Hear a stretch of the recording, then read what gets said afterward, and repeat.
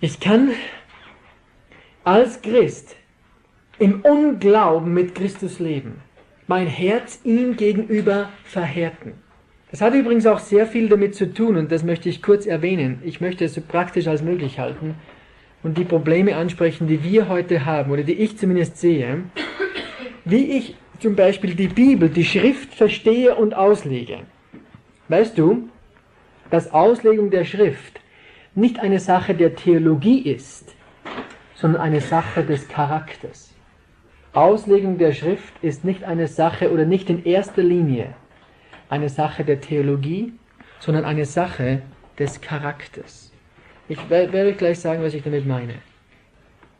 Wenn ich etwas in der Bibel lese und das gefällt mir nicht, es ist mir zu eng oder wie immer, ich will aber Christus nicht abweisen, weil ich will an den Himmel kommen, dann muss ich anfangen, die Bibel zu interpretieren. Hat aber nichts mit Theologie zu tun, das hat einfach mit Charakter zu tun. Nehme ich Gott beim Wort oder nehme ich ihn eben nicht beim Wort? Ich möchte hier kurz etwas ansprechen, weil das ist sehr stark in unseren Gemeinden, glaube ich, der Unglaube. Wir haben uns verhärtet gegen das wahre Wort Gottes. Möchte etwas ansprechen, was oft Verwirrung stiftet. Es wird auch gefragt, ja, muss ich die Bibel jetzt wörtlich nehmen oder ist die Bibel nur eine allgemeine Richtlinie, an der ich mich halt so halbwegs halten soll, dann wird es mir besser gehen. Und es herrscht Verwirrung, weil sowohl Fundamentalisten als auch die Liberalen lesen die gleiche Bibel und beide legen es total äh, äh, gegenteilig aus. Das ist ja komisch. Ich meine, wenn wir selber die Bibel lesen, sollten wir doch zur selben Meinung kommen, nicht wahr? Aber dem ist nicht so. Nun magst du sagen, nun, wer hat nun recht? Die Fundamentalisten, die Liberalen, die Humanisten oder wer immer, wer, welche Auslegung stimmt nun? Ich möchte mit euch eine kleine Hilfe geben, eine ganz praktische Hilfe für dich persönlich. Und dann kannst du viele von diesen Büchern vergessen, die geschrieben werden darüber, wie man die Bibel zu verstehen hat. Die Bibel ist nämlich relativ einfach zu verstehen. Nämlich, sie ist genauso zu verstehen wie jede Kommunikation. Wenn ich mit dir jetzt spreche, mit Angela zum Beispiel spreche ich, um sie zu verstehen, muss ich herausfinden, was meint sie. Sonst verstehe ich sie nicht. Ich darf sie nicht interpretieren, was könnte sie meinen. Nein, ich muss herausfinden, was sagt sie eigentlich. Ich möchte mir ein Beispiel helfen, das habe ich vor kurzem gehört, hat mir gut geholfen. Nehmen wir mal an, meine Tochter Lisa, die ist zwar jetzt erst fast fünf Jahre alt, aber in ein paar Jahren wird sie soweit sein. Aber meine Tochter Lisa und ihr Freund, die gehen an einem Abend während der Schulzeit auf eine Cola zum Landgraf. Das ist da ein Café da auf der Hauptstraße. Gell? Und ich sage zu Lisa, Lisa, du darfst ohne weiteres hingehen, aber du musst vor 11 Uhr daheim sein. Wie würde sie das interpretieren? Du musst vor 11 Uhr daheim sein. Das ist ziemlich klar, oder? Ich glaube schon. Was ich jetzt sage, das käme zwar nicht vor, aber stellen wir uns vor, das ist ja meine Tochter, gell? Stellen wir uns vor, es ist bereits 22.45 Uhr und die beiden, Lisa und ihr Freund, sitzen doch immer drüben im Café Landgraf und vergnügen sich. Sie haben nicht gerade Lust, jetzt schon nach Hause zu kommen. Also bekommen sie auf einmal Probleme mit dem, was ich gesagt habe und beginnen es zu interpretieren. Und dann kann man sich das folgendermaßen vorstellen. Sie sagen, was er wohl wirklich gemeint hat, als er sagte, du musst vor 11 Uhr daheim sein, Betonung auf du. Hat er das tatsächlich auf uns persönlich bezogen oder redet er vom Menschen im Allgemeinen? Hat er vielleicht gemeint, als allgemeine Regel gilt, dass man vor 11 Uhr zu Hause sein sollte?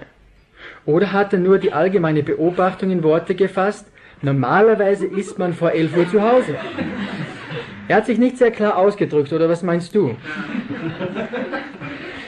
Und was hat er wohl gemeint, als er sagte, du musst vor 11 Uhr daheim sein? Ein liebevoller Vater wäre doch nicht so unerbittlich und unflexibel, oder? Er hat es wahrscheinlich als Vorschlag gemeint.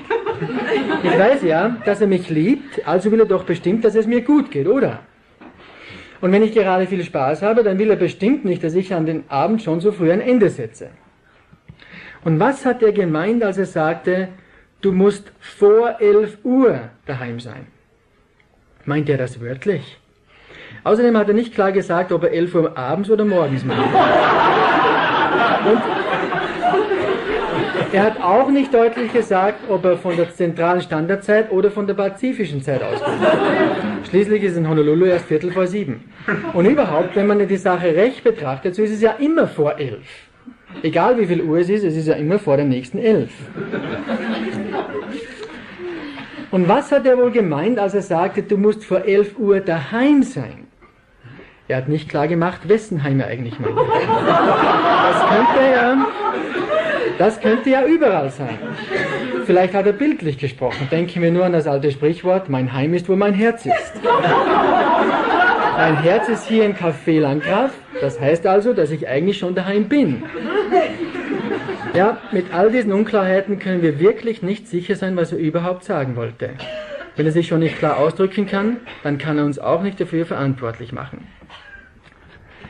Wisst ihr, man lacht darüber, aber wisst ihr, das ist genau das, was wir mit dem Wort Gottes tun. Genau das. Unsere Motive können die Art, wie wir die Worte interpretieren, die können sie total verfärben. Darum habe ich gesagt, Auslegung der Bibel ist in erster Linie Charaktersache, nicht eine Sache der Theologie. Gott spricht relativ klar. Und wenn man anfängt, diese Sachen zu interpretieren, das hat überhaupt nichts mit Theologie zu tun. Das ist Unglaube und Verhärtung gegen das Wort Gottes. Ich predige mehr als die halben Sonntage im Jahr in irgendeiner Kirche. Vielen verschiedenen Kirchen. Und jeden Sonntag begegne ich Menschen, die äußerlich erwachsen sind, aber innerlich immer noch Kinder, was den Glauben anbelangt.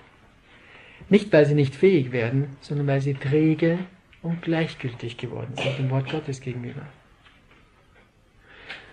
Und es ist auch interessant, wenn man das Wort Gottes dann so wie Gott es geschrieben hat, ganz klar und deutlich predigt, nehmen sie Anstoß daran. Es gibt einige, die sind mir gegenüber nicht mehr sehr offen, auch in dieser Gemeinde. Wenn die mich treffen, sie versuchen dauernd mir Schuldgefühle zu geben, was ich letzten Sonntag in der Kirche wieder gesagt habe. Aber was mir am, am meisten leid tut, ist, dass sie nicht willig sind, mir vom Wort Gottes zu zeigen, dass das, was ich gesagt habe, nicht Wort Gottes ist. Das ist nicht mehr der Maßstab. Aber wo haben wir unseren Maßstab? Sie stützen sich lieber auf ihre persönlichen Erlebnisse und auf psychologische Erkenntnisse, aber nicht mehr auf dem Wort Gottes.